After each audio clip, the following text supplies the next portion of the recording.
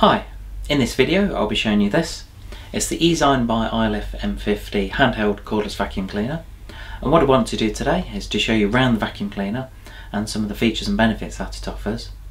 But before I start, all I'd normally say is please subscribe to my YouTube channel, just click the thumbs up.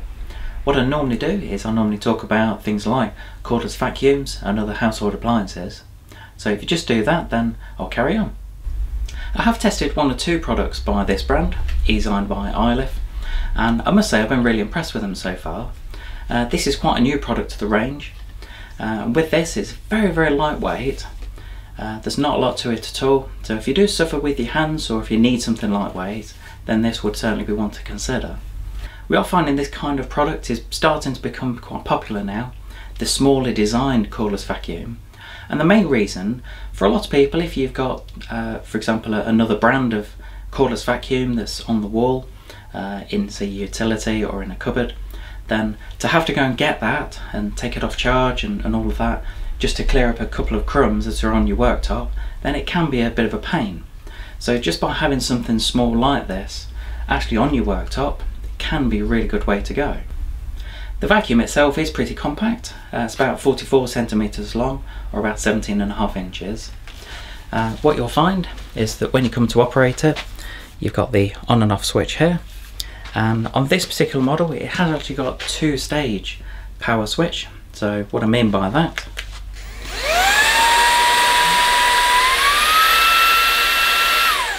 So hopefully you could hear the difference.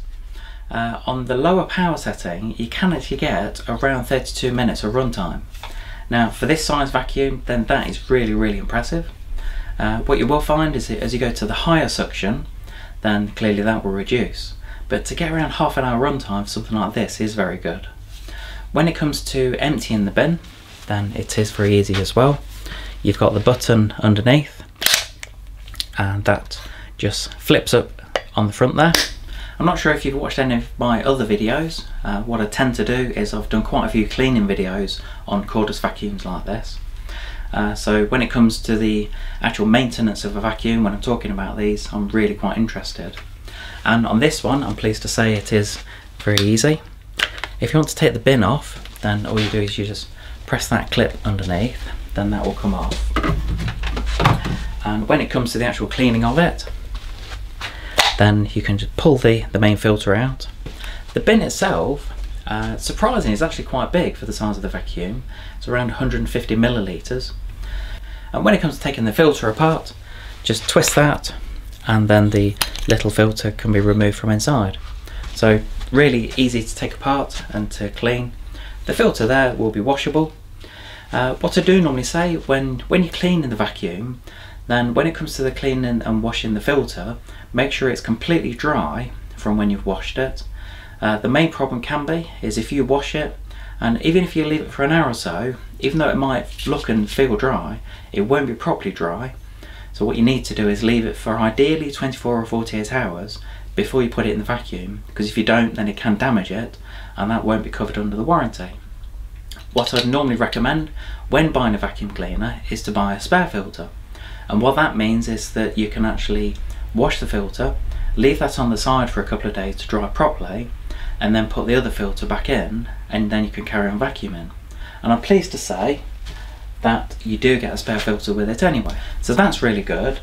And then when it comes to putting the vacuum back together, you just pop the filter in there and just locate that on top. That's it. So just make sure you twist it so it locks into place. There are a couple of arrows on the side just to show you which way to twist it. And then once you've got that you just pop the pop the filter back into the bin and then just locate the bin back onto the vacuum. Then it clicks into place and then ready to go. So on the vacuum you have got a battery indicator and again it's like a three stage indicator you can see at the moment it is fully charged.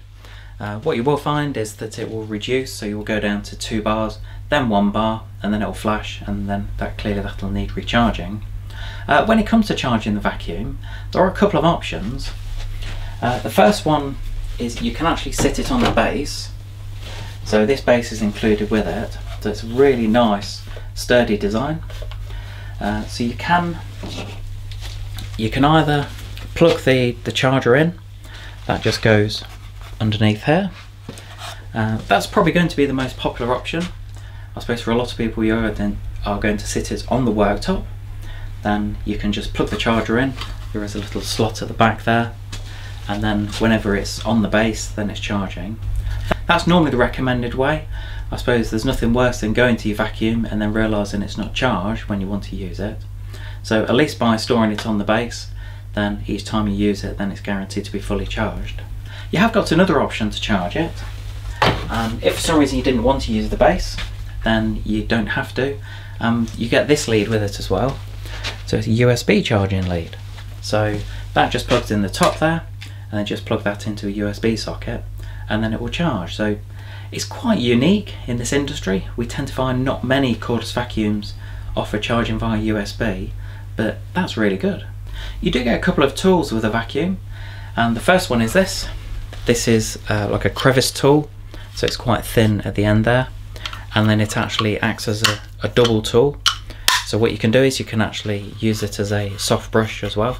These are quite soft bristles, so that's ideal. Uh, if you're in a say a kitchen, if you're going around a hob, then that's really good. It just means it won't scratch around there.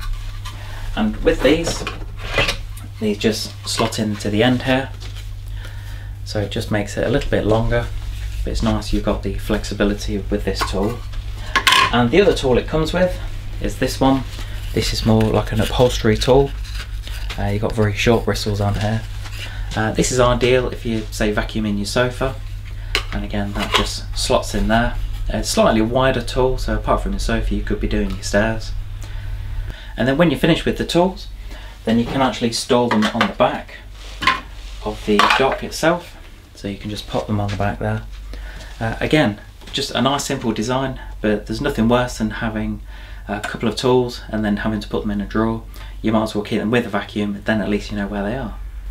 So let's have a quick go with it. Uh, first one is I've got some porridge oats on the left hand side here and then I've got some rice on the right hand side.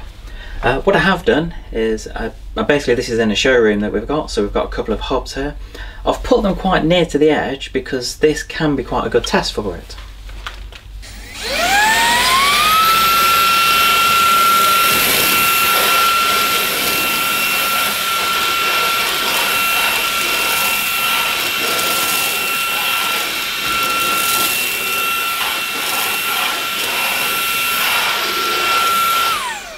Well that certainly found it quite easy. If you are thinking of buying one of these, I have provided a link below to show you where to get one at a competitive price.